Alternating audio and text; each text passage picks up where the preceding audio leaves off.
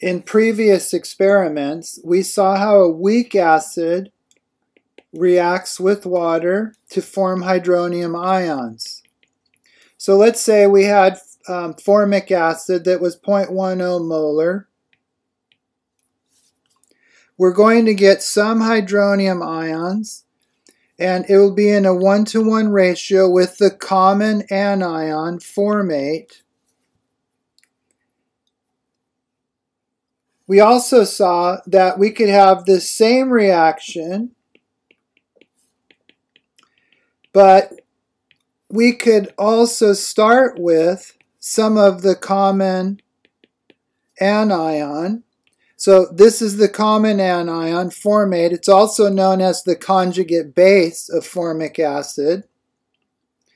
it is also available.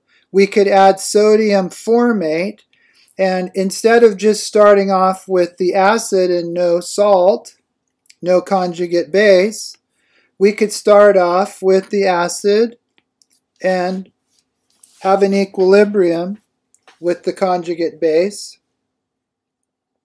So we've already seen that. Well, in this experiment, we're only going to start with the salt, which is the conjugate base, which is also known as the common anion. So if we start with sodium formate, what will happen? Obviously, the sodium is a spectator ion.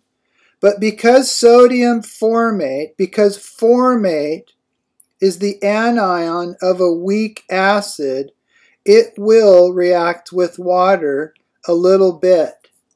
And it will take a hydrogen from the water, just one, and it will form the weak acid, formic acid, plus hydroxide ions. Now this is going to be in small amount, but an equilibrium will be set up. We call this reaction of the salt with water, this is called hydrolysis. Hydro meaning water and lysis means to cut or to react with. So water is reacting with the anion. In the case of chloride, plus water, we are not going to get HCl because that's a strong acid. So that's not going to happen. That's no reaction. But in the case of a weak acid, if we start with a conjugate base, it will form some hydroxide. So the equilibrium expression, we call it Kh for hydrolysis. It's also known as Kb because we're forming hydroxide and it's a very weak base. So the expression is going to be the hydroxide ions times the formic acid that's formed at the same time over the anion of the salt. So in this experiment, we measured a 0.10 molar solution of sodium formate.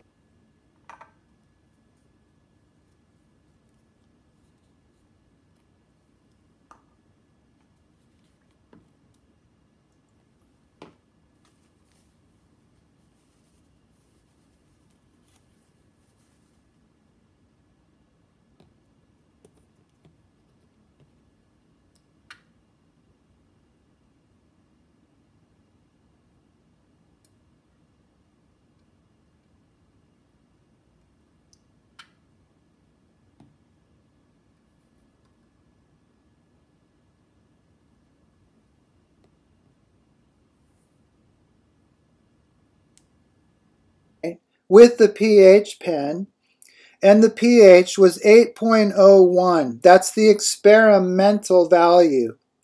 The pOH is going to be 14 minus 8.01 or 5.99. Now what we want to do is calculate the experimental KH. So um, we're going to um, go ahead and calculate that value because we know the hydroxide and we know the acid and we know the original salt. So here's our equilibrium equation.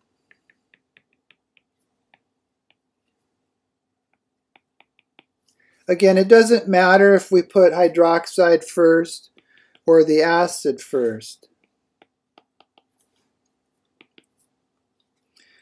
So our initial concentration, this comes from the sodium formate, was 0.10 molar. The hydroxide for mathematical purposes and the formic acid were zero.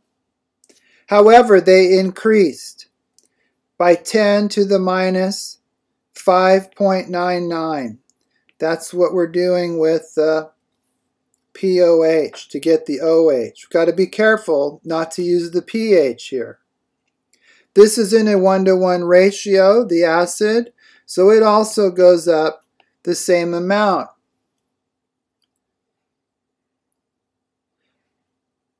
the formate ion goes down by 10 to the minus 5.99.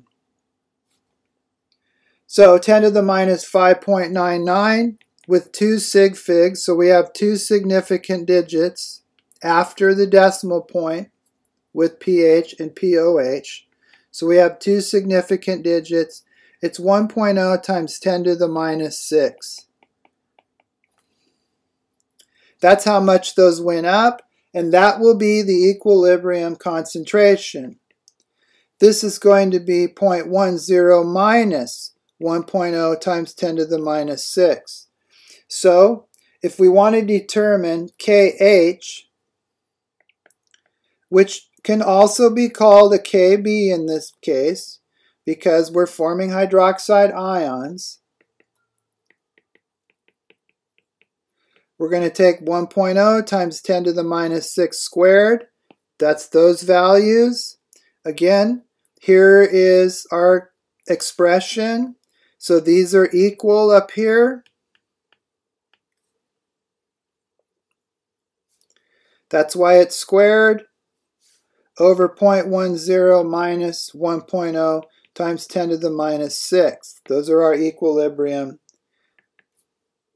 values. And so KH, the hydrolysis equilibrium constant, is 1.0 times 10 to the minus 11. This is the experimental value based on the pH that was measured with our pH pen. So now let's determine the theoretical KH. If it was in the book, what would the book say? How would it come up with this? Well, first of all, hydrolysis constants are not in the textbook. You have to determine it yourself. So let me show you how to do that. We're going to review that Kw is equal to hydroxide times hydronium which equals 10 to the minus 14. We're going to use that. If you remember, Ka for formic acid is going to be hydronium times our conjugate base all over the original acid. Okay, now, if we were to take Kw over Ka, here is what we would end up with. Hydroxide times hydronium. Okay, then our Ka gets flipped over because it's on the bottom. So we're going to put the acid, formic acid, on top. And then on bottom goes hydronium. You can see that's going to get canceled. And our formate ion. So if we cancel the hydronium, what we're left with right here, it's very important to see this. What we're left with is our hydrolysis constant. It's the same thing. So how do we determine that? We take KW over KA from the textbook. That's usually in a table somewhere. So that's going to be 10 to the minus 14. That needs to be remembered. In the textbook, the value for Ka is 1.8 times 10 to the minus fourth. You can look that up in the appendix of the textbook, or it, usually on exams it's given. It's also in your notes. So this is what the constant hydrolysis constant equals 5.6 times 10 to the minus 11. Now just think about this value, 10 to the minus 11, is very, very, very small. So this reaction that we're looking at here, this reaction is not going to occur a lot. We're mostly going to see the left side at equilibrium. So now I want to calculate the theoretical pH. Let's start with the KH from um, using the textbook value and let's see the pH calculated from that. That would be our theoretical value. So now we're going to work backwards. The first time we started with pH and moved forward to the hydrolysis constant. This time we're going to start with the book value of the hydrolysis constant we calculated and work backwards to pH. All right, so same concentration, 0, 0. This time, though, we are going to act like we don't know the hydroxide or the acid. So we end up with 0.10 minus x. And here we are at equilibrium. Let's go ahead and write the expression again. KH equals KW over KA. We just came up with that, so we're going to use that value. And that is equal to hydroxide times the acid, the weak acid, divided by our salt, the anion of our salt. And let's make sure we write that correctly. Okay, so that's going to be x squared. We're going to use our equilibrium concentrations over 0.10 minus x. And that's going to equal what we already calculated right here, 5.6 times 10 to the minus 11. Okay, let's work that out algebraically. x squared equals 5.6 times 10 to the minus 11 x. Let's make that negative plus 5.6 times 10 to the minus 12. All right, so x squared plus 5.6 times 10 to the minus 11x minus 5.6 times 10 to the minus 12 equals 0. There's our quadratic equation. You need to know how to put the quadratic equation into your calculator. So A equals 1, B equals 5.6 times 10 to the minus 11, and C equals negative 5.6 times 10 to the minus 12. Using our calculator, x comes out to be 2.4 times 10 to the minus 6 molar, and that's going to equal the concentration of hydroxide. Hydronium is going to equal kW, 10 to the minus 14, over the hydroxide, 2.4 times 10 to the minus 6. And so our hydronium equals 4.2 times 10 to the minus ninth. So in this case, our pH equals 8.3. 8.3 is somewhat basic, not strongly basic, but it we do have some consistency. We also see that we are not very uh, significantly basic, which would explain the very, very small equilibrium constant. So let's calculate the percent hydrolysis. The percent hydrolysis